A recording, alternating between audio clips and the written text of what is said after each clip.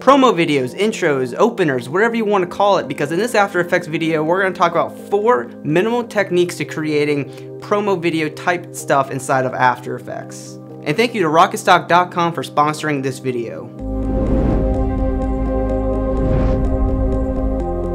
Hey, what's going on internet? This is Josh Noel from Sonduck Film. If you couldn't tell from the intro, I didn't really know what to title this video, so Either way, whether you're doing promo videos, an opener, or just like a one-screen intro, this tutorial is going to focus on four amazing techniques that will help you increase your quality of work from a very minimal perspective. You know, when I do the minimal style, I like to think that I don't have a lot of time to do something or I'm just really lazy. But this is to be a great tutorial whether you don't have a lot of time or you really dig the style like I do. So let's go ahead and jump in the video and let's get started. So for our first technique, we're going to talk about one of the most important elements first and that is typography. When creating promo videos or an opener or an intro with a very minimal style, the typography is going to have a huge impact on the design. And if you want to follow along with this tutorial step by step, you can go ahead and download our project files. The link's in the video description. They're free to download, so why not download them? Okay, so let's go ahead and talk about typography first. So first things first, you need to familiarize yourself with a handful of different typefaces. So one of my favorite typefaces over here on the right side is Gotham. Another one that I like to use is Bebas Neue, which is a phenomenal font as well. And you see this is a very nice sans serif type of font face. And there's also a few other ones that you know you're gonna have to just look up and find on your own. So it's good to have a few typeface families that you really stick with that will usually work when you're trying to create minimal titles. I'm gonna stick with the typeface Gotham, and what's cool about having a typeface, it has plenty of different fonts in this typeface that you can choose between. So let's take a look at our first title here. So we have two titles that have the same styles applied to them, same size, and it's the same size and it can work. What I would suggest when you have two titles that are the same size, don't flush them in the center do more of a left align. And in my opinion, we have two of the same fonts. I think when they're left aligned looks great. If you want to do any center alignment font, what I was just doing is taking the second title or the top one and make it smaller and change the you know font to a lighter typeface and then move these closer together and this looks really good because there is contrast between the main title and the second title and that looks really good so usually you want to decide whether you want to have contrast or no contrast so really up to you what you want to do but for me what I'm going to do is left align this and I'm going to bring up my title safes by clicking on this crosshair and clicking on title action safe. And I'm going to place this on the left side of our screen because our footage is more based on the right side. And, you know, shout out to Julia here, who's our awesome model. And what we're going to do here is just have this nice contrast between the title and our image and it makes complete sense. So it's really up to you how you place this. Placement and typography choice is a huge part of great typography. But once you have everything in place, you kind of want to animate this because, you know, this isn't Photoshop or Illustrator. This is After Effects and we animate things in this, right? So what we can do to animate this very cleanly, we can open up our title layer, go to the animate tab, and we're going to do some very simple, you know, animation because this is supposed to be minimal. We're going to click on this animate icon and click on position and then what we'll do here is we'll bring down the position just like this. Just bring it down. Then we'll go to this add button and we're going to go to property and we're going to add opacity. We're going to bring the opacity down to 0%. Then we're going to open up the range selector one and we'll add a keyframe for start. We'll move forward maybe by a second and set it to 100. So now we'll have this animation coming in just like that. And now we can go into the advanced tab and if you have multiple words, like I do here, and I don't want it animating in by letter. Where it says based on, it says characters, we can do it by words. And now I'll just come in like that, and that looks cool. We can make both the keyframes easy, ease keyframes by hitting F9 on our keyboard, and it's a really nice animation to add there. You can also adjust the smoothness if you don't want it to be so, you know, smooth in the animation, so quick little look, it kind of just pops in there, and, you know, looks fine. Or you can keep the smoothness up to 100% and have a pretty typical animations. Up to you how you want to have that. I'll keep it at 100%. And essentially, boom, there is a nice clean typography, animated, very minimal, and it's ready to go.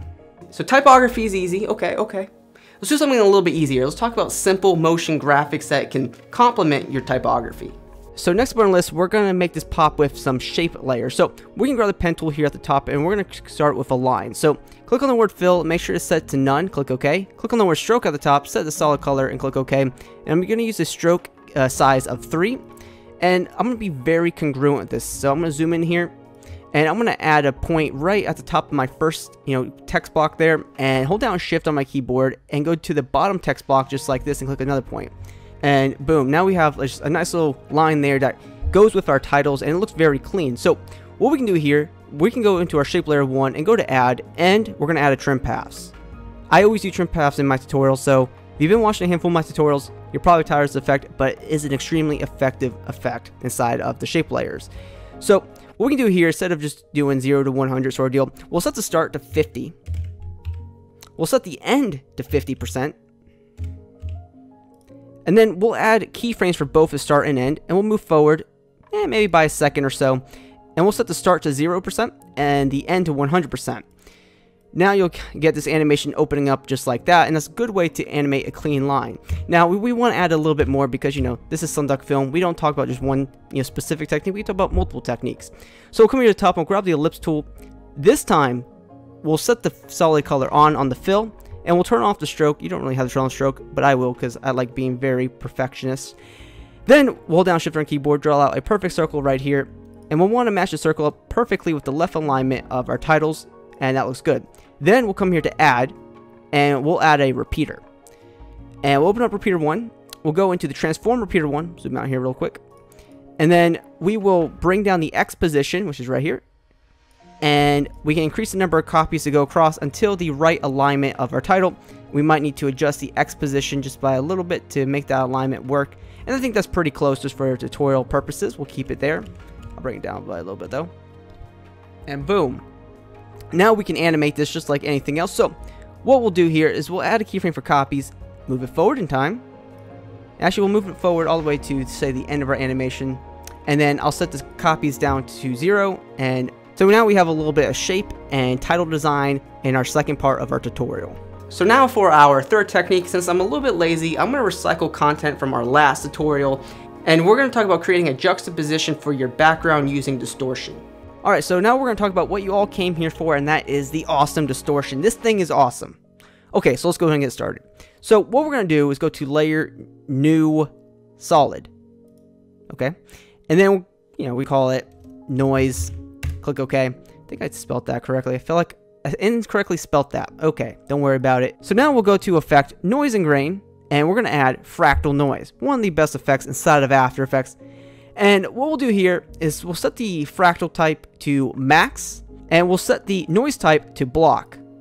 Then we'll want to increase the contrast and lower the brightness until we see like very minimal blocks here. And you know, we'll probably just copy those settings that I have there. And then we'll go into the transform tab here and we'll uncheck uniform scaling. We'll increase the width and increase the height maybe a little, a little bit. It's really up to you how much you really want this to be and you'll understand this how this works in a second. And from here, we'll go into the evolution options and we'll all click the stopwatch for random seed and we'll type in time, star or asterisk 5 and we'll click off. And now you're just going to get like these blocks moving in here, whatever, right?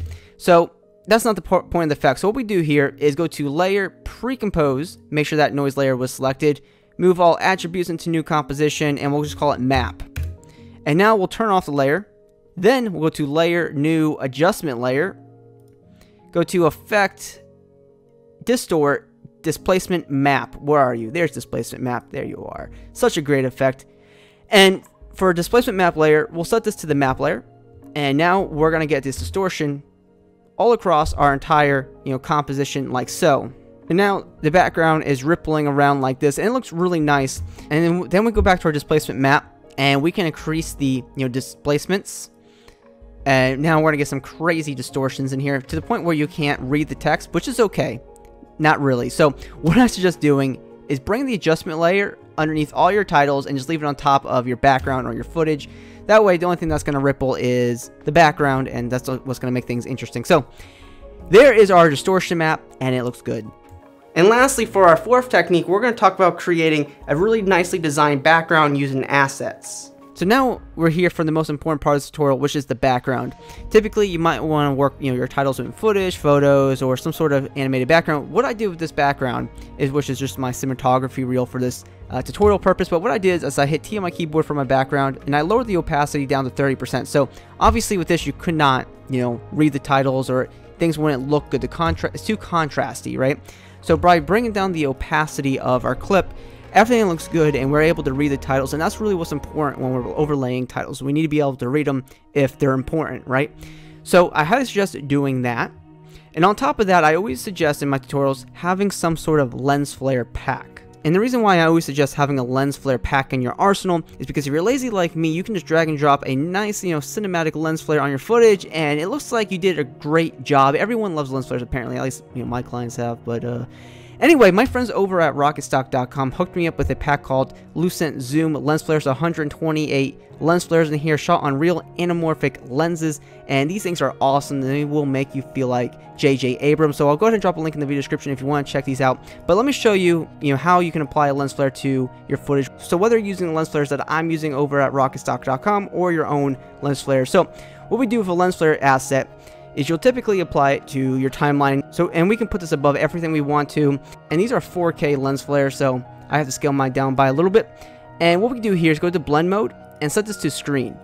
So, and now I've added a nice lens flare to my footage to really spruce this up, and, you know, it adds just a lot more detail to our composition. And for a bonus technique in this video, if you want to splice this with a slideshow, you know, a quick technique transition that you can apply is just doing simple positioning uh, keyframes. So what I have going on here, I'm just going to demo this, is I simply have my first composition here moving over from the right side to the left side just going off like that. And simply I have a composition on the bottom here. And what I could do at the bottom you know uh, composition is what I can do here is add a keyframe when my first slide is off they go back to where my first slide is on and grab the X position and just by using the composition edges of our clip here I'm going to move this all the way over. I'm going to move this over to the right edge of our composition and make them easy ease keyframes and this allows me to create a very nice transition slideshow and it looks really good. So if you want to work multiple slides, that's how you can do that with our techniques that we talked about in this video. So there are my four techniques for creating this minimal promo video opener intro. I still haven't decided what I'm going to call this tutorial in the title, but there it is for this video. If you did enjoy this video and were able to take away these techniques, which I hope you were able to, go ahead and hit that subscribe button. We post two post-production tutorials every single week right here on the channel. You can also hit me up on my social media networks. Those links are in the video description and always